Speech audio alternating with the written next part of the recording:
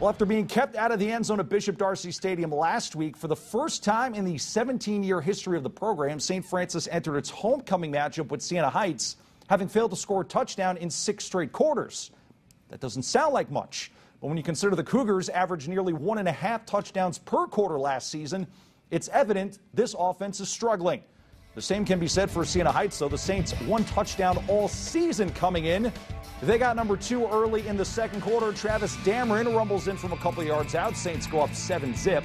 USF answers on its next drive. Nick Ferrer connects with Akeem Kelsall. The Snider grad goes over 1,000 yards for his career with that catch. And then later in the drive, Antoine Campbell keeps the feet moving, end zone. That would tie the game up, but the Cougars too inconsistent offensively tonight. Travis Dameron punches in another late in the half to put Siena Heights up for good. The Cougars incredibly fall below 500. They're now 2 and 3 as they go down 27 21.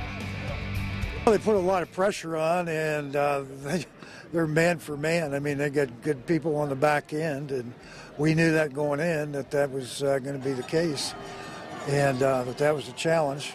And uh, again, we we didn't uh, come out quite as well as I'd hoped.